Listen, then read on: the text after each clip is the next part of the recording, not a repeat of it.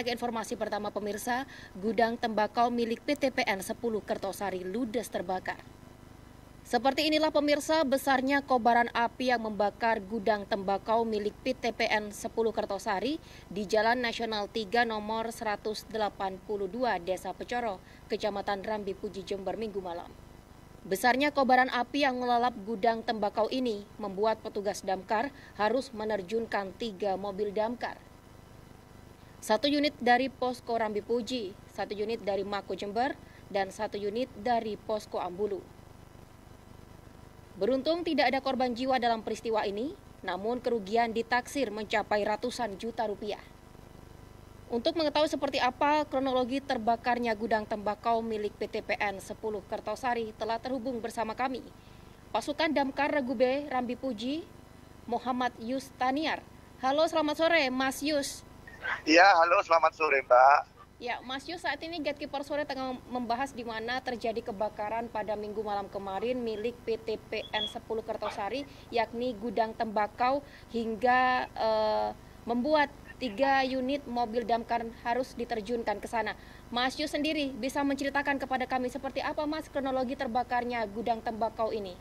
Oke, baik. Terima kasih atas waktunya uh, tadi malam kurang lebih jam 9 malam kita dapat telepon dari kantor Markas Komando Pemadam Kebakaran dan Penyelamatan Kabupaten Jember bahwa telah terjadi kebakaran uh, di Jalan Dharma Wangsa, Pecoro, Rambi Puji. Dan yang terbakar itu ternyata uh, gudang pengeringan tembakau.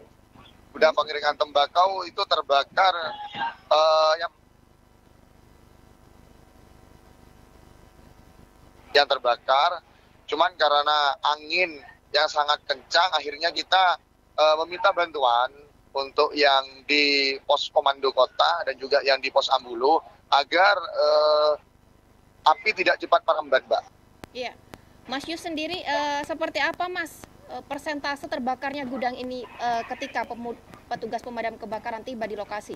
Uh, itu uh, karena kita lokasinya memang dekat kurang lebih dua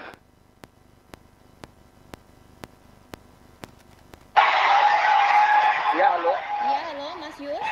Iya. Iya, bisa Kurang lebih. lagi?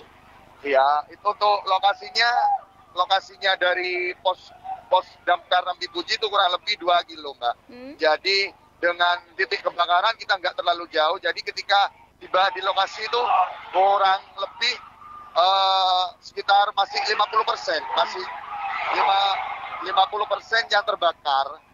Jadi 50% yang terbakar itu kita langsung menelpon markas komando, markas komando damkar yang di markas komando karena kita takut tambah besar karena di sebelah kiri itu masih ada dua gudang yang masih belum terbakar. Jadi kita mengantisipasi terlebih dahulu.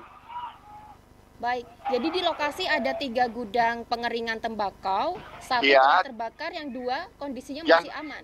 Ya, posisinya masih aman karena ketika kita sampai di lokasi kita langsung memutus api atau memutus arah mata hmm. angin agar tidak merembet ke sebelah kiri gudang yang belum terbakar itu, Mbak. Jadi kita basahi dulu gudang yang di sebelah kirinya itu.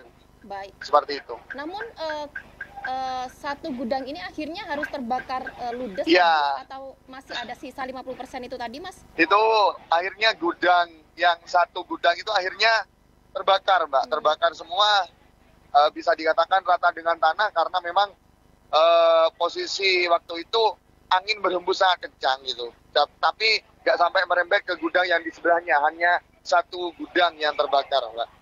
Ya baik, namun beruntung tidak merembet ke dua gudang ya. tembakau lainnya. Mas Yus, ya, uh, untuk penyebabnya sendiri, apakah sejauh ini sudah diketahui? Uh, untuk penyebab sendiri hingga saat ini belum diketahui, Mbak. Masih penyelidikan dari uh, Polres Jember mungkin, hmm. seperti itu. Baik. Mas Yus, uh, gudang yang terbakar jika kita saksikan di layar televisi memang uh, terlihat cukup parah, kobaran apinya uh, sangat yeah. besar. Uh, berapa lama proses pemadam keba uh, proses untuk memadamkan api pada minggu malam kemarin, Mas?